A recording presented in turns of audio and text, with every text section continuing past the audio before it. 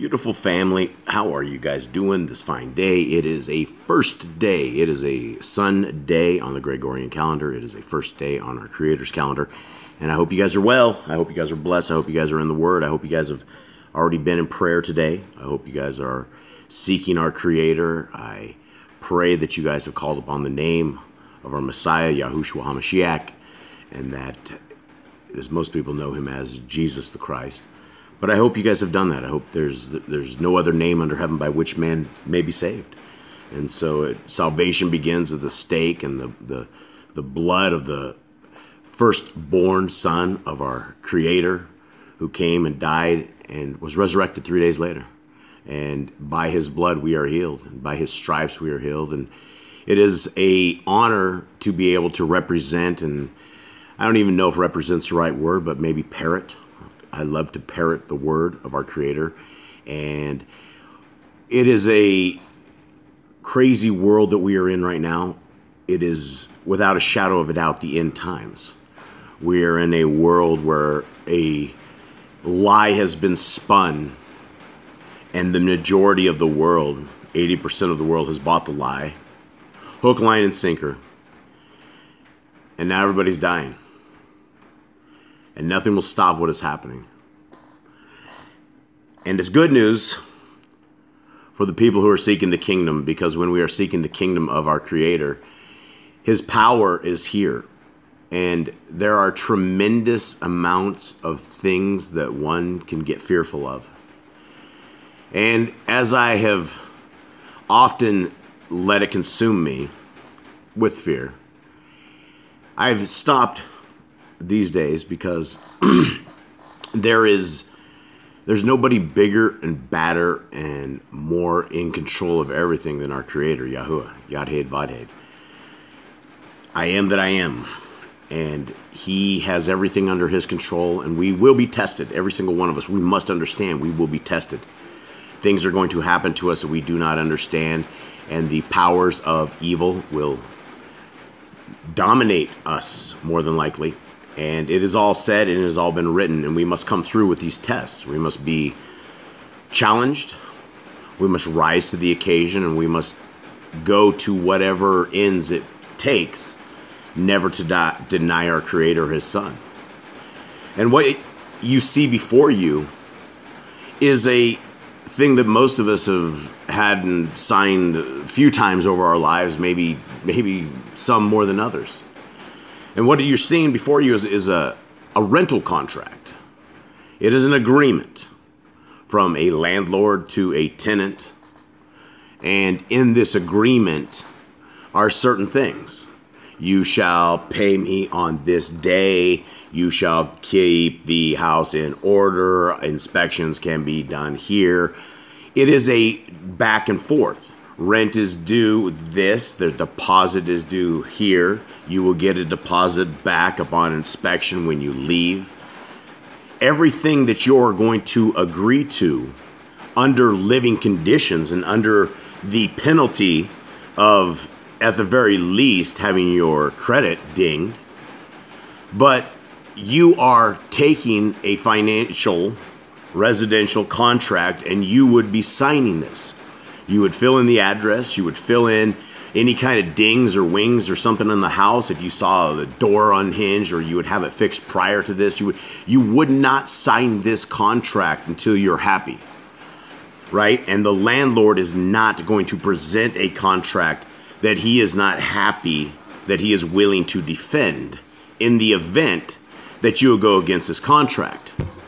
Now we have all been given a contract. We have all been provided with a contract, and this contract is life or death. This contract is a simple agreement that our forefathers, Abram, Isaac, Yaakov, or his, in the English, Abraham, Isaac, and Jacob, they all kept this this this contract, right? It is a contract that our Creator has given to us and he spent his precious time getting it to us, keeping it ordained so it doesn't get destroyed, and delivering it to every single one of us. And if not, who does not have access to the Word of God? You can find it literally anywhere, and people have them in motels. They've been in motels for years and years and years, right? It takes the special moment and the special time and that special occasion that you actually read the Bible. But we've been entrenched into a doctrine of lies, a doctrine that says this contract that is before us doesn't exist. These people have told us and they've they've bet our soul on it. We are believing a lie instead of taking a contract that is not just an a very equal contract, but it is an amazing contract. In fact, it doesn't cost us a single dime. This contract that our Creator has provided to us doesn't cost us anything. It costs us faithfulness. It costs us faith. It costs us a little bit of being peculiar, a little bit of being a little weird, right? Because we're set apart. We don't want to look like the rest of the world and smell like the rest of the world and taste like the rest of the world because we are set apart, peculiar people. That is what the laws of God have provided to us in a contract, and most of us have said we don't want this contract. We will eat our bacon. We will bless our pork. We will eat whatever food as we want. We will do what we want because we are rebels. And you know what? There's one other who is the king of the rebels, who came before anybody else and who delivered a very evil message and has been hounding us and afflicting us from the days of old. And that's Hasatan, the adversary, the devil, the one who roams about, the one who afflicts us, and the one who hates us. And so, in this contract that I'd like to discuss today, it doesn't matter if it is a to you a new or renewed contract. It is a contract none the same. Because most of us have never had the opportunity to take this contract, to take a, a life rental agreement that comes from our Creator. And I never take stuff out of context when I'm reading this stuff. And our lesson today is in Hebrews, but I have to go back to Jeremiah 31 because I got to talk about this very first. Because when we are talking about Yisrael, we are not talking about the old Jews in, in Israel. Anybody who keeps the laws, statutes, and commands of our Creator is Yisrael. You, my friends, my family, we we are Yisrael. We are the, we are the kingdom family. We are the people that are willing to keep the laws, statutes, and commands and the faith of our Messiah. And we do what the Bible says from front to back. That is the agreement. That is the contract. And so when we are talking about Yisrael, we are talking about us. There's no other definition of there. In the Bible, there's no Baptists and Pentecostal people or Mormons or, or Seventh day Advent. There's none of that. There's the people who call themselves the children of the Most High, and they are blessed, and they are called the children of the Most High because they are Yisrael. And the only way to become Yisrael is by signing your life away to the contract that Yahuwah has provided to you, which is keeping his law, statutes, and commands. And we don't just have to keep a set of commandments without a benefit because not only do we stay alive because we don't eat unclean food and touch corpses and pack around dead things, right? Because we know better, because we keep the Torah, right? So not only do we have that, but then our Creator has said He will bless us. What's good going on in your life? The, this fact that we are still alive and breathing every single day is a blessing from our Most High. The fact we are not decimated with health problems, and even the health problems that we have, are we manageable? Do we thank our Creator in absolutely everything? In every pain and every break and every everything. Our Creator's name is to be praised. There's no other greater name in the universe. There's no greater engineer. There's no greater lover of us than our Creator. Even his son is not going to be as much of a lover of us as his dad was. His dad provided the son, and his dad provided us. He created us all. He's the ultimate architect. And it is this covenant right here and I'm going to read this in the new in the NIV because it's easier reading, but it's over on the King on the left. I'm also going to go into the Sefer and also the Hallelujah Scriptures as well, um, because there is differences in the translations, and I know that some say it's a new and some say it's renewed. Let's read it and we'll discuss it. 31. The days are coming, declares the Lord, when I will make a new covenant with the people of Israel and with the people of Yahudah. It will not be like the covenant that I made covenant I made with their ancestors when I took them by the hand to lead them out of Egypt, because they broke my covenant, though I was a husband to them, declares the Lord. This is the covenant I will make with the people of Yisrael after that time, declares the Lord. I will put in my mind, I will put my law in their minds and write it on their hearts. I will be their God and they will be my people. No longer will they teach their neighbor or say to one another, Know the Lord, because they will all know me. From the least of them to the greatest, declares the Lord. For I will forgive their wickedness and will remember their sins no more. Now, when we look at this over in the Sefer, and it says right here in verse 31, and this is where there's some differences, and it I'm telling you, it doesn't matter if it's new or if it's renewed. To us, it is new. Even if it is a, even it doesn't matter what it is because it's the same covenant for us. This is what we want. And so, verse 31 in the Sefer here says, Behold, the days come, says Yahuwah, that I will cut a renewed covenant with the house of Yashrael and with the house of Yahudah not according to the covenant that I cut with their fathers to the day that I took them by the hand to bring them out of the land of Mitzrayim, which by covenant they broke, although I was a husband unto them, says Yahuwah. But this shall be the covenant that I will cut with the house of Yashrael. After those days, says Yahuwah, I will put my heart, my Torah, in their inward parts and write it in their hearts, and will be their Elohim, and they shall be my people. Guys, let's look up very quickly to verse 31 here there is no house of Gentile. We have two different houses. We have two houses that split, and it's it's two of the twelve tribes of Israel, and that's basically all we have left. You have the house of Yahudah and you have the house of Yashrael. You don't have a house of Gentile. If you consider yourself a Gentile, that you are proud to be a Gentile, there's nowhere in the Bible that it says Gentiles make it to the kingdom. We are not supposed to be a Gentile. You are only a Gentile because you have not signed your life to this covenant. You have not taken the covenant of our Creator and said, I will abide by His laws, statutes, and commands, and He can be my God, and I will be His people. That's what we have to do, and that's what we have to sign. So, that's it. Let's go into the actual lesson of today, and we're going to go ahead and read this out of the King and the NIV as well. And this is a verse that the Christians, this is a chapter the Christians have used to completely um, denounce and to, to say that they are some sort of different people. But in context, when you read it all, it's foolishness what they're saying because they have never read it. And I was one of those guys who was a fool. I never read it. I was always talking about the new covenant. I'm under the new covenant. The new covenant is for me. The old covenant, that was for the old Jews it's like I thought that our creator had made a mistake and had gone through all these years of walking and talking and, and spending time with his people just to say, you know, that was a little too hard for those people. I think I'm going to make a different way. And I'm going to send my son, I'm going to have him tortured and killed and bled, bled on the tree and uh, you know by by that you can you can eat that pork In, instead of that pork killing you because of all the hundreds of different bacteria and kill you i'm making it cling. All food is made cling. And while you're at it go ahead and stop and pick up every dead piece of roadkill along the way fry that up and eat it as well. Right? That is how we end up dead. But everybody says no that's okay. I want my pork.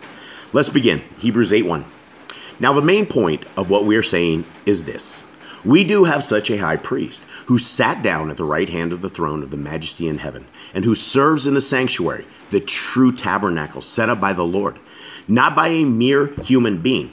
Now, guys, they really, really butcher this this this Lord. When they say Lord right here, and let's take it over to the Sefer, if it is not all capitalized, a capital L, capital O, capital R, capital D, it actually translates back to Baal.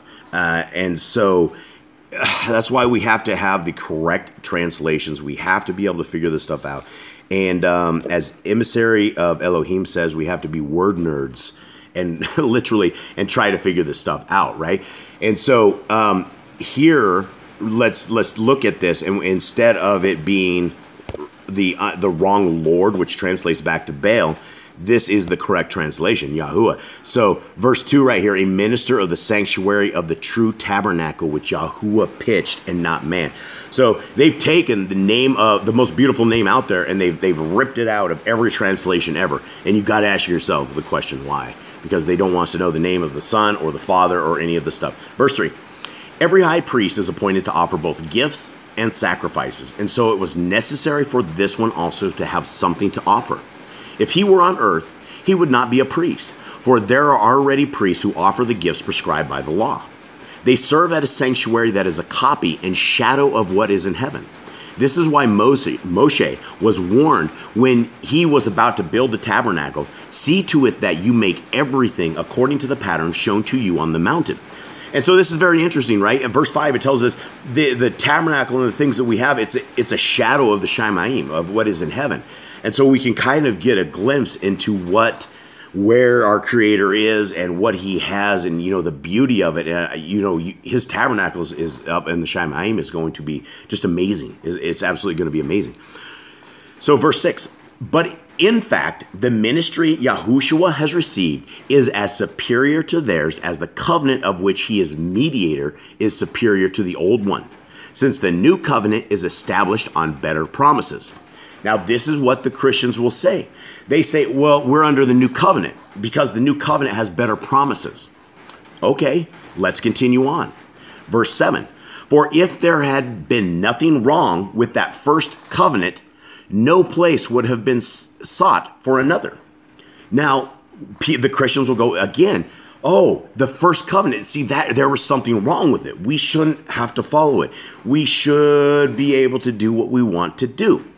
And they take this chapter and butcher it. They completely butcher the entire point of this chapter because there was absolutely nothing wrong with the very first covenant except the people broke the laws, statutes, and commands. The people broke their covenant. They didn't pay their rent. They didn't clean up the house like they were supposed to. They didn't. They, blew a hole in the wall. They did not keep the covenant. Right? Verse 8 But Yahuwah found fault with the people and said, The days are coming, declares the Lord, when I will make a new covenant with the people of Israel and with the people of Yahudah. It will not be like the covenant I made with their ancestors when I took them by the hand to lead them out of Egypt, because they did not remain faithful to my covenant, and I turned away from them. so this is this is where the Christians will stop. They will never go beyond this. And if you do this, you're only getting part of the point. And the entire point of understanding scriptures that we read everything uh, to the point we understand it. If we don't stand under the standing of what we're supposed to be understanding, we are not getting it. Verse 10 This is the covenant I will establish with the people of Israel after that time. That's now. We are in this time. We are in the end days. This is after the time. This is to you, my friends. Declares Yahuwah. I will put my laws in their mind and write them on their hearts. I will be their God and they will be my people. Okay, so my friends, if you're if, if I catch any Christians out there that are listening to this, my friends, the Christians, it says this new covenant, the parts of this new covenant, the, the what we must abide by is that we must keep the laws in our minds and write them on our hearts. What does that mean? Well, first of all, that means that the laws that we have taken and said are in the trash can because our, our Messiah died to fulfill the law and that makes the law no more, that is untrue. And in fact, if we're supposed to write the laws on our minds and write them on our hearts, how do we do that? Well, we do that by studying. We study to show thyself approved unto unto the doctrine that we're supposed to be reading. We're not understanding it unless we are studying to show ourselves approved and workman who needs not to be ashamed, rightly dividing the word of God. Where the Christians will take that right out of context too. They're like, well, the New Testament's for us. You're, you're not rightly dividing the word of God, Jason. And I believe I am, because I don't see a reason that we should not be keeping the laws, statutes, and commands of our Creator. So, verse 10 again, I will put my laws in their minds, write them on their hearts. I will be their God and they will be my people. Let's let's that's a powerful verse. Let's read that in a Sefer. Let's read that in the version right here. Verse 10 For this is the covenant that I will make with the house of Yashrael after those days, says Yahuwah. I will put my Torah into their mind and write it in their hearts, and I will be their Elohim, and they shall be to me a people. I'll finish it up here in the Sefer. And they shall they shall not teach every man his neighbor. Okay, that's a strange statement, but there's a comma. And every man his brother. Okay, so we shouldn't teach the neighbor or the brother. Because when you're saying know Yahuwah, for all shall know me, from the least to the greatest. Wow, what a day is that going to be that we don't have to tell our friends and neighbors or every brother about Yahuwah because everybody knows about Yahuwah. Those days will come. Zion will come. The king will come.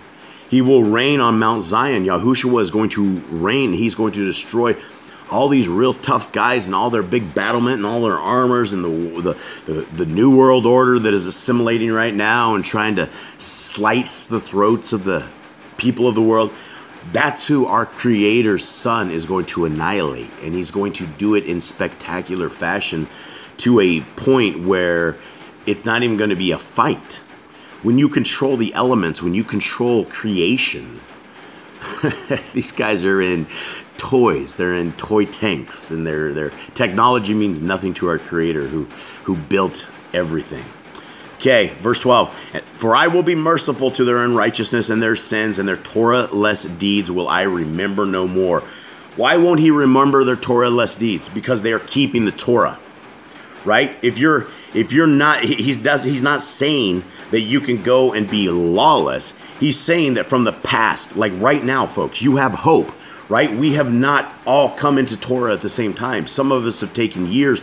Some have a magical moment, that word satanic, but some of us have that moment that we come into the, the, the truth. And the truth is that the Torah has been good yesterday and today and tomorrow, and it will be forever. And there will never be a jot or a tittle of the Torah that will ever be gone until heaven and earth pass away. Ever. It is there forever. Verse 13, in that he says, a renewed covenant, he has made the first old. Now that which decays and waxes old is ready to vanish away. And the Christians will, again, they will slaughter this all the way to the end, but they will skip the big important stuff, like verse 10. Because nobody has anything unless you're faithful to our Creator. Nowhere in the Bible, and I promise you, I don't know how many times I've made it through the Bible or anywhere. I just, I've lost count, but it's, it's quite a few times. And I will promise you, there is no place in the Bible that you can be lawless and be in, in covenant with our Creator. You go into captivity. If you do not do what our Creator says, if you live contrary to what our Creator says, He does not walk with you, and for sure you will not have blessings. If you're hearing this for the first time, guys, I, I beg you to please pick up your Bibles to, to find a copy you can read. There's every translation of every Bible has problems by far. If you're new to this, find a version that's easy to read. The NIV, and people are going to slaughter me for this, but it is the easiest to read that I believe, and I'm sure there's other easier ones. I just I, I grew up with that, and I, it's easy to read versus the King. The Sefer is great as well for better translation, but at the end of the day, they they they have some things that are messed up as well. But every version does. But if you can find a version, find it on your phone.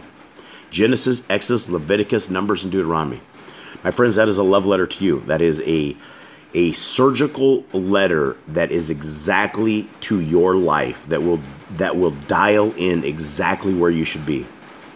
You will create peace in your life. You will find a freedom that you have never had before, and you will begin a walk that is a an amazing walk.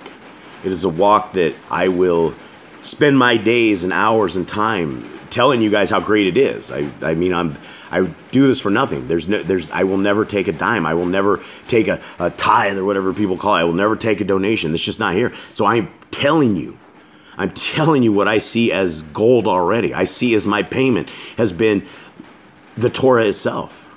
I don't need any more payment. I was given the gift of life, the book of life, and the Son. And it is so good news that this is the Besorah. This is what we should all be telling everyone about. And so, guys, I am going to wrap this up. I hope you're good. I hope you are well. I hope you're blessed. And for those that want to see the rest of this in the NIV right here, here it is right here. You can pause it, you can read it, and I'm just going to say much love to everybody out there. I hope this made sense to everybody, and I hope you guys are willing to step out of the world and step into the Torah and step with the Most High and His Son. It's a good life. Much love.